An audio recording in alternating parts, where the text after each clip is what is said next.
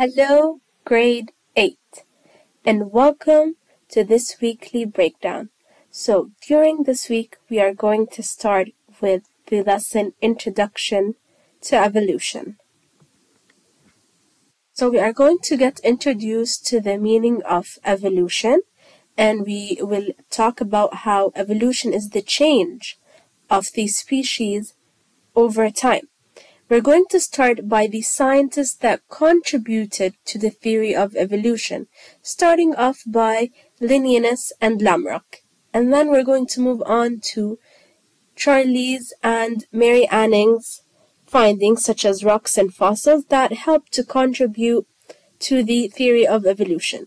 And starting with the father of evolution, which is Charles Darwin and we are going to talk about where much of his research comes from, such as the Galapagos Islands, which is off the coast of South America. So Charles Darwin went through a journey, and we are going to go through this journey with him to understand how he saw the species evolve and change through the Galapagos Islands.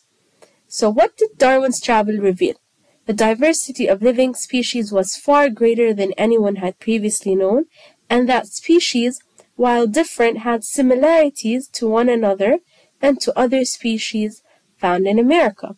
So he saw that some of these species were different but had some similar characteristics that brought them together. So this is how the theory of evolution started what sparked Darwin's theory. So he went to two different islands, and in these two different islands there were tortoises, which are turtles, and birds that were clearly different from one island to the other.